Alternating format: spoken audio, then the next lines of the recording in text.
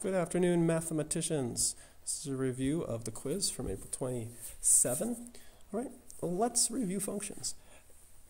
Um, and this, in this, in this quiz, we're thinking about how functions are shifted, and especially how the quadratic functions are shifted. But I threw a couple questions in here that are just general to functions. Okay, we've been working on a few function families. Um, quadratics is the newest one. Um, I recommend that as you go through this movie, you you rewind, pause, think about it, and really look at the options here. Look at the drawings and illustrations I'm making, and analyze them. Just let your brain kind of take it in, okay? And um, and if you have to watch it more than once, that's okay. Try to pick up something new each time, okay? Be wise and become more intelligent, because your intelligence is not fixed. So, um, functions. We have an input and output machine here, okay? And um, you put a value in for x, left and right, and so you go maybe go two to the right from the center of the graph, right? And then it, for this machine, which is a quadratic, it's a squaring function.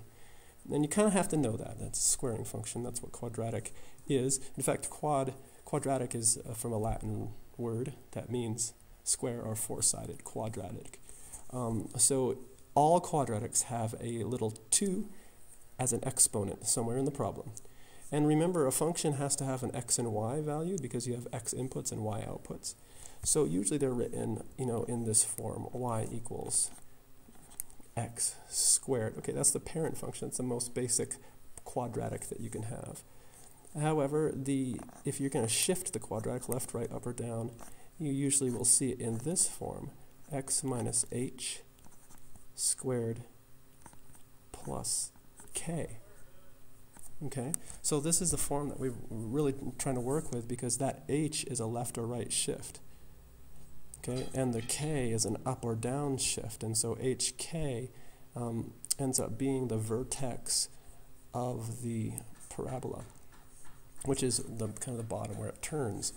Okay, so I just kind of gave you a huge clue as, as to what the answer is for this first question. Did you hear the word I said that would connect um, quadratic with a graph below? I said parabola. Okay, which, one's a, which one of these is a parabola? Okay, well, a parabola is a curve, and so graph 3 is out. Okay, because that's not a curve. Um, and that's one we haven't looked at a whole lot. It's called absolute value. I've mentioned it, but we've worked with the others more. Um, the the the one the one that these three are curved, but one is, is starts out kind of flat and goes really steep on one side. This other one here is um, starts out at a specific point and only goes to the right. And, and then this one here is very symmetrical and has a curve with kind of a, a middle point um, where the curve turns. Okay, it's called a vertex. So which is the quadratic? Which is a parabola? Okay, well, it's this one here. Okay, that's the parabola. All right, so the correct answer to this question is, um, is, is that. Now, think about this for a second. Just kind of analyze it here. Um, think about the parent function that would be uh, starting in the middle and going up on both sides. Okay, why does it go up on both sides? Because if you square a negative, the output is still positive, like negative 2 times negative 2 is a positive 4. So go over 2, up 4, um, just like if I put in a regular 2 and go over 2, up 4 as well.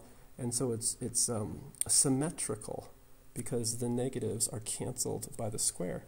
And so the left and right sides of a quadratic are always the same, and that's why they have this nice parabola shape, um, and always symmetrical with a line, kind of um, with a, a, line that can divide them exactly in half. Now this one also is symmetrical, but it's not a curved shape. Um, so the two sides are very linear. Um, so this is an absolute value graph down here. It doesn't really apply. Now explain my thinking here. I, I say that it's an upside down parabola. Um, true. And um, in order to make a parabola upside down, you have to put a, a letter out in front that's negative. So if you, um, if you did y equals negative, um, you know, something, Um, in this case, uh, it's um, it, it is just a regular sh shaped quadratic, so it's not made thinner or wider. Um, so it's negative on the outside, and it's not shifted left or right, so there's no h. So it's just x squared, but it is shifted up 2. No, sorry, 3. That's, that's level 3, um, because each box is 2, if that's 10 up there. So it's shifted up 3, okay? So if you're not understanding what I just said to write this equation, you need to pause or go back and just take a look at what's happening with this specific equation. Um, notice, though, it's still a quadratic because it has a squared term, so it's still going to be a parabola.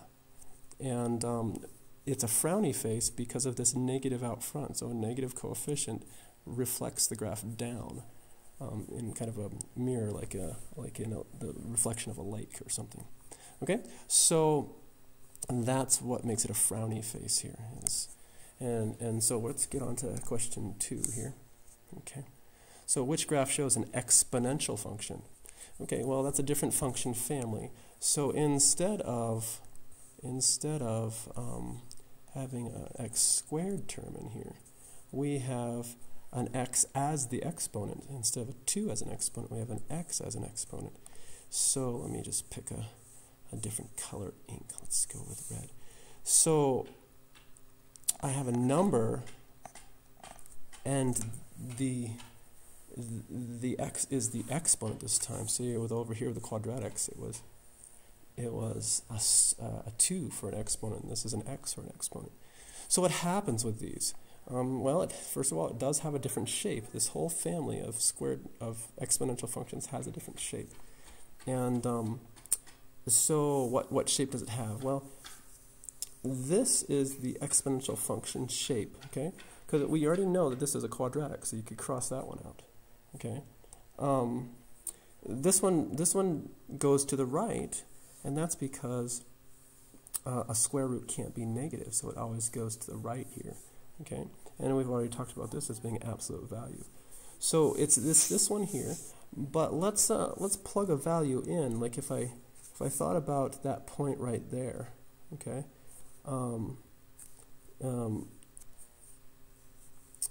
uh, think about putting a positive number in here, like maybe a positive um, six or something. Um, if I put in a positive 6 here, it's 2 to the 6th power. Okay, so 2 to the 6th power is 2 times 2 times 2 times 2 times 2 times 2, um, 6 times. So um, this is this is shifted over though, so it, it does have a shift going on in in the um, in the problem.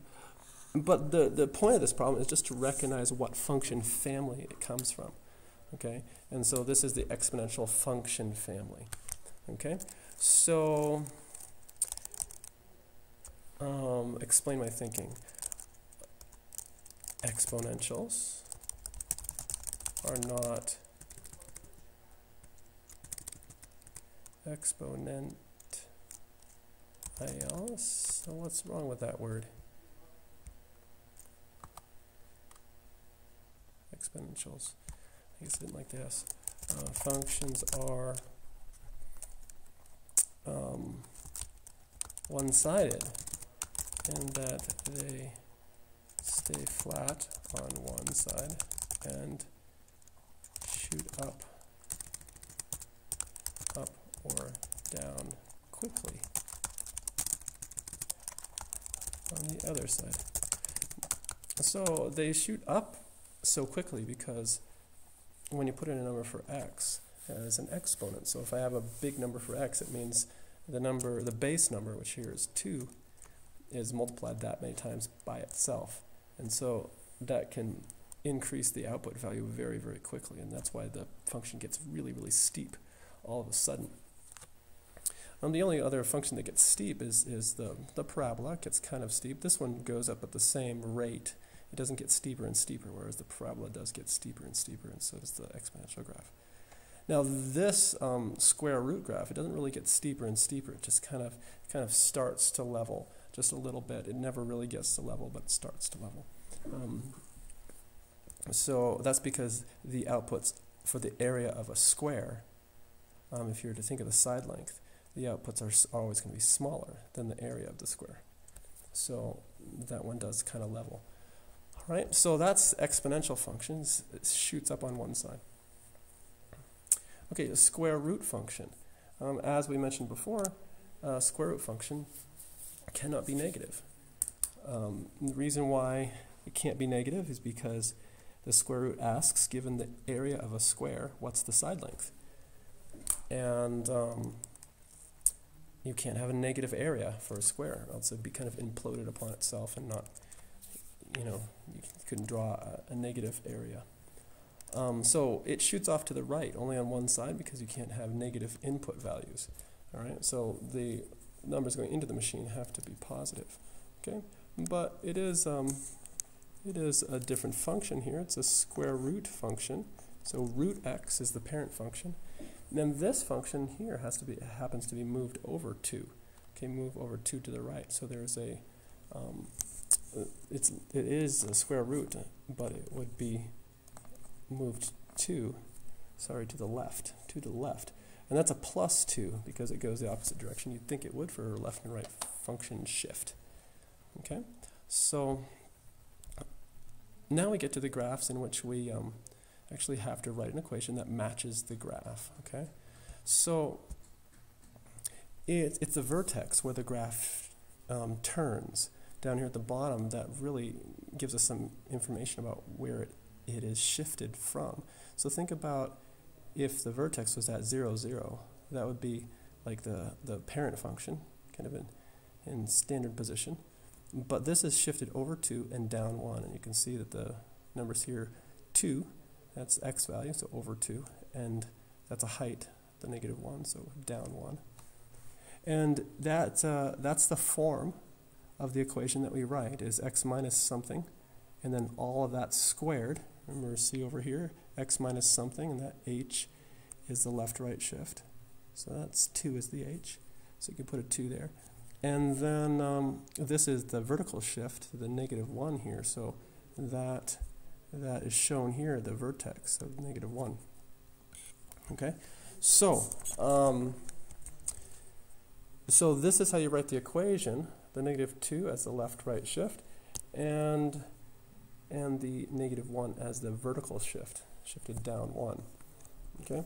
Now, is it the, is it the normal width of the curve? Is it squashed or is it stretched? Um, if you go over 1 and up 1, we get to the graph, and so we know it's just the normal width of the curve. Okay?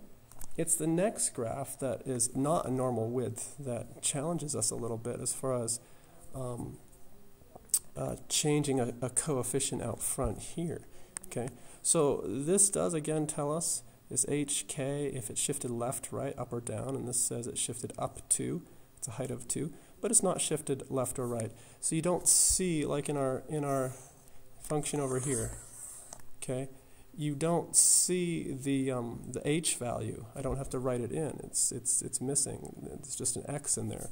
And the reason why I don't have to write that in is because if it's not shifted left or right, you can write that in as a 0, and you don't have to write a minus 0.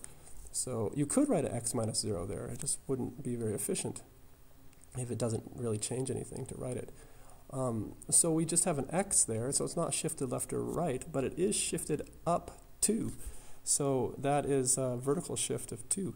Now we notice that it was is slimmer. Okay, so if I go over 1 and go down 1, I don't get to the graph. So that would be the normal curve without a, without a coefficient is over 1, down 1. But if I go over 1, I can go down 4. Okay, go down 4. So there's a 4 out front. So it makes the outputs 4 times bigger. Rather than over 1, down 1, it is over 1, down 4. Um, and the, the down 4 does make it a make it a, um, a frowny face rather than a smiley face. So that's why we have this, this negative 4 out front makes it skinnier than your parent function. Okay, so that's our review for the quiz, and um, I hope that helps. Please remember, you know, rewind this and pause in places to really think about it and analyze. Let your brain kind of take in some of the information and really try to understand it and ask yourself questions and um, and and you'll be more ready for the quiz and more intelligent about quadratics. All right, that's it.